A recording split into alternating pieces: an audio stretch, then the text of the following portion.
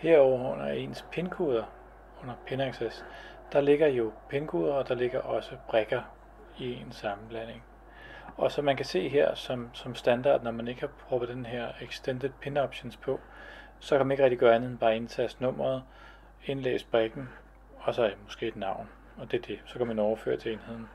Men man kan noget ekstra, når man går over på den her Extended Pin Options.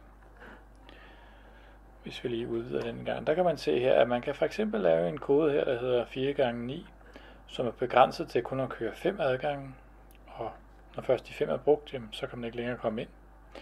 Man kan lave en, øh, en brik, som jeg har her, som måske er begrænset på, på tid i stedet for. Så skal man så trykke på fluebenet her, og så trykke på time limit, og så begrænse sin arbejdstid, og det kan man også gøre på dagene herovre. Og så kan man så trykke OK til det.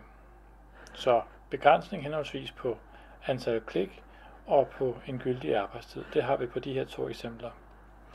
Og hernede kan vi så have en permanent kode for eksempel, som både kan betjenes ved hjælp af et tastatur naturligvis, men også af SMS-interfacet. Så altså hvis den er krydset af, jamen så giver det faktisk mulighed for, at man kan indtaste en sms og sende til enheden med de fire totaller, og så vil døren lukke op.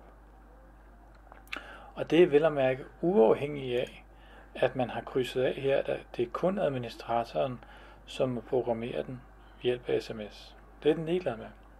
Hvis man har gjort det andet herovre under pin access, og så fået vinget af under sms-sourcet herover, jamen så kan man faktisk bare sende en simpel sms med koden, uden firkant, uden semikolon, ingenting, bare at de her fire totaller, og så vil døren åbne.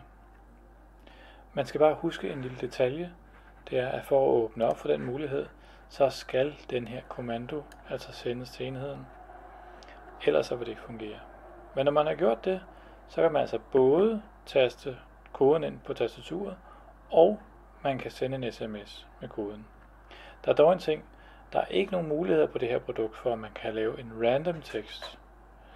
Så altså, der er ikke mulighed for eksempel at skrive blomster, og så vil døren åbne.